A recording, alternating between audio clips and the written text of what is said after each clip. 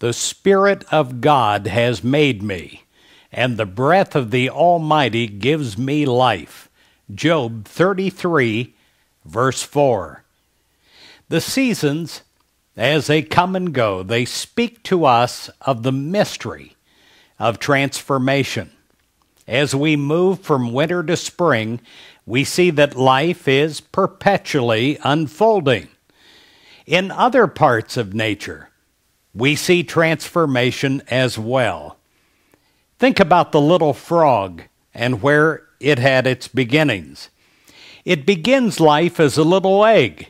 In the fullness of time, that little egg will burst forth and a tadpole will appear. Have you ever gone to a pond and watched the little tadpoles? It was always such a mystery to me that after a while that tadpole that looked like a little fish would no longer be like that. It would start to grow legs, and in fullness of time it will walk upon the earth. Well, the same mystery of transformation unfolds in the butterfly. A little butterfly begins as a very small egg. Then, out of the egg comes a little wiggly thing that is furry and has lots of legs. We call that a caterpillar. And then, when it feels an inner push, it will make a chrysalis around itself. And out of that chrysalis, it will emerge a winged creature of incredible beauty. Well, what about your transformation? You might call yourself just a human being. And then the day comes when you see and you feel as if you are more. You then say you're not just a human being. You are a soul. You're spiritual. You are a child of God. And you begin to see that child of God unfolding that seed of the Christ unfolding in you. A spiritual transformation has begun. And then the day comes when you think of yourself not as just a weak human being that can only do so much that is limited, but you think of yourself as a child of God, as Jesus said that you were. And you know in your inner self that your destiny of that little tadpole is also working inside of you. That as the tadpole became a frog, as the destiny of the caterpillar was to become a butterfly, your destiny is to become a child of God human being. And what do I mean by a child of God human being? I have but to look at the life of Jesus Christ to know at least a bit more about what this new creature in Christ looks like. Jesus came to us to acknowledge, to discover, to experience, and to be the fullness of what he was and is. And I think he must have gone through all sorts of seasons in his life, times that he felt very human and times that he felt very divine. He came to that place in his life where he was aware that he was fully a child of God, fully incorporating the human and the divine. And then he taught us that we should follow him and do precisely the same. Ephesians 3:16 states this, I pray that from his glorious unlimited resources he will empower you with the inner strength through his spirit. The hardest task will be to dissolve the critical, crippling, self negativity that often traps us where we thought that we were only a, a, weak human with only so much that we could do. We will need to do what seems impossible. To walk paradoxically in, in two worlds at once, inhabiting an earthly body, but with a new spiritual intent.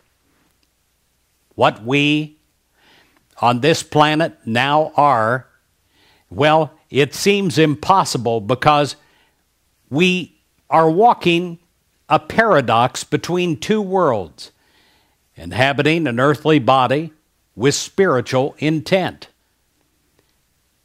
1 John 4, verse 4 Little children, you are from God and have overcome them, for he who is within you is greater than he who is in the world. As we walk through the seasons of our lives, we will come to powerful junctures that will call us to leave behind the old ways of thinking, the old ways of speaking, the old ways of being, the old ways of living. For God draws us, woos us, pushes us, and pulls us forward. Now, more than ever, I think we are being pulled forward to the stage where we can combine the human and the divine and honor both. We are both, somehow, at the same time. This critical time may offer a baffling crisis of spirit inside of us. It may be a time in our lives when we don't understand why something is happening. We may not understand why those pieces are configuring the way they are. We may not have been doing everything that we thought correctly. And then, even when we thought that things were correct, things begin to crumble. We experience an illness that is unexpected, or someone that we love goes away or we have a financial crisis, or something else happens. It may very well be that a number of people watching this video church this day are in a baffling crisis of the Spirit, and they are trying to understand. It is in these times that we often ask many questions. We ask, Is this all that there is to life? Isn't there more? I want more, but I don't know how to get it. I'm afraid to take the steps forward. And we ask the deep questions of God. I think this process of going through the seasons of our lives occurs over and over again in our spiritual growth.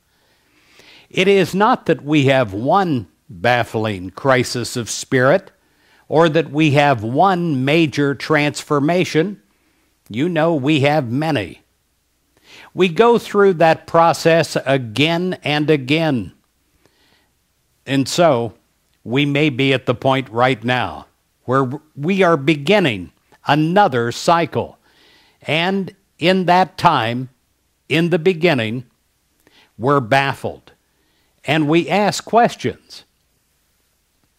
There is a book titled When the Heart Waits. It talks about a time when the author, Sue Monk Kidd, faced such a time in her life and some of the questions that she asked herself. Maybe they are our questions also. Is it possible, she asked herself, that I'm being summoned by some deep and holy place within? Am I being asked to enter a new passage in spiritual life?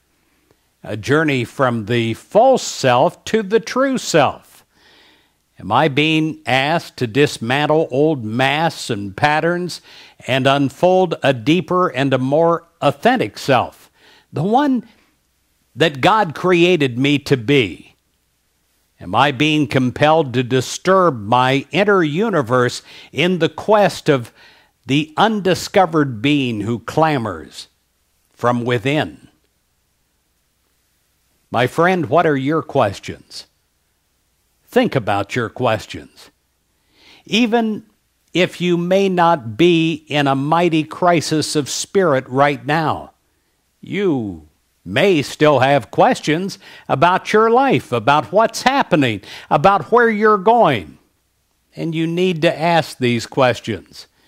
Even if the questions are questions where the answers may not come instantly. It is the questioning that is important to spiritual growth. We ask our questions and we search. We find that the bottom line will be that we must commit to becoming a brand new person. Thomas More said this that is the major commitment of humanity to become a whole new person.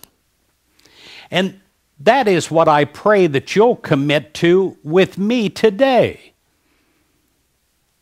Do you know what happens when the caterpillar goes into the chrysalis and forms a cocoon around itself?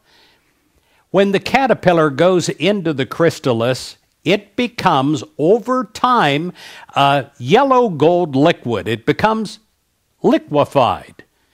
It is not a caterpillar as it was in olden times, and yet it is not yet a butterfly.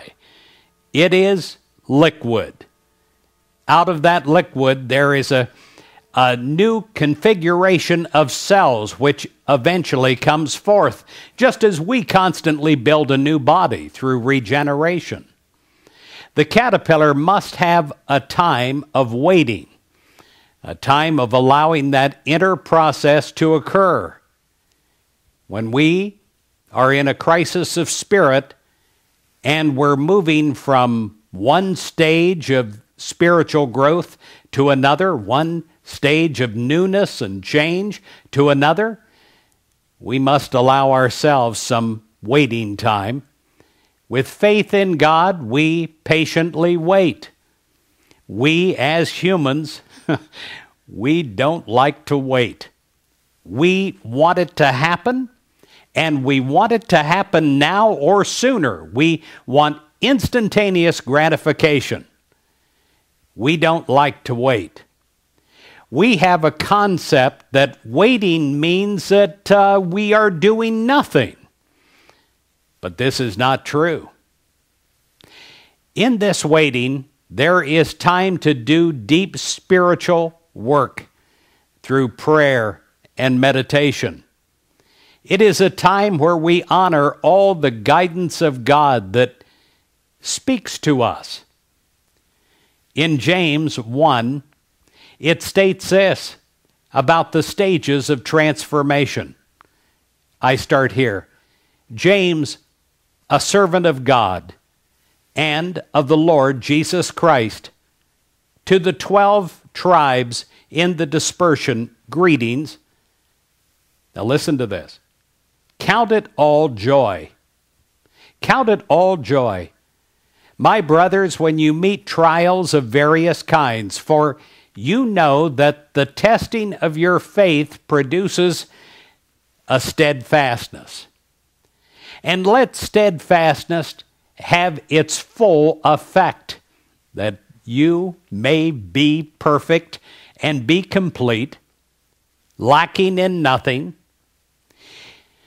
If any of you lacks wisdom, let yourself ask God, who gives generously and without reproach, and it will be given to you. That's a powerful Bible verse. We may have all kinds of internal voices pulling us, shaking us up. And we may have a lot of external voices as well that want to dissuade us from moving into that that is our destiny. Let's remember it is our destiny to go beyond just being a weak human. God has created us from the beginning of time to be a child of God, human being. God has created us from the beginning of time to be a child of God, human being. All the spiritual insights and Jesus point to who and what we are becoming. Our commitment is to become an entirely new person that is strong spiritually. Didn't Paul say something about being a new creature in Christ? We're going to be a whole new creature in Christ, a new and a wondrous being, someone that is happy and filled with joy. But we must allow time and let the waiting do its holy work. As we take our time inwardly in prayer, let us remember that sometimes it may take weeks or months to move through all the layers and, and come to the place of resolution. We will have often conflict and stress and pulling in many different directions, but the day will come when we will feel a peace in our new way of being. The day will come when we will feel the full glory of God to honor that Spirit that is in us. 2 Corinthians 5, verse 17 Therefore, if anyone is in Christ, they are a new creature. The old things have passed away. Behold, the new things have come. Henry David Thoreau had the luxury of choosing to live part of his life at Walden Pond. He talked about this time at Walden Pond in February 1857. He wrote, You think I am impoverishing myself by withdrawing from men. But in my solitude I have woven for myself a silken web or chrysalis, a nymph like shell, ere long burst forth a more beautiful and a perfect creature. In our waiting, we are creating a chrysalis around us, and we will burst forth a new creature. I invite you to close your eyes at this point and acknowledge with me, as I acknowledge within myself, that each of us is so much more than the eye sees or the mind declares. Let us acknowledge for a moment this wonderful body in which we live and move and function in this world let us acknowledge that we are one with God by nature, that we have the seed of the Spirit planted within us. Probably for many of us, we have been loving and acknowledging this divine presence and essence of our being, maybe for a long time. Maybe we have been struggling with the either or of the human and the divine. Maybe today we are facing a baffling crisis of spirit. We're consciously choosing right now, holding the possibility of something greater in us as us. Even in the midst of anxiety, we hold to the wonder, the excitement, the joy of the new that is being birthed in us and through us. Our destiny is to become a child of God human being, to know that as we walk through the seasons of our lives, the changes, we do not walk alone. God is with us, and we have the promise of Christ Jesus that He will always walk with us, be our friend and companion and our way shower. He has already gone this route. He knows the ups and He knows the downs, the, the twists and the turns. And we do not have to go it alone or try to figure it out totally by ourselves. God, we ask you to whisper in our ear and comfort us. Make the road less bumpy. In the fullness of time, we will stand in spiritual consciousness, in beingness, in expression with Jesus, and we will know. Thank you, God, for our holy destiny. May we have the courage, may we have the strength and the conviction to become a totally new person in the name and through the living, loving presence of Jesus Christ. We pray, believe, and become our destiny. Amen.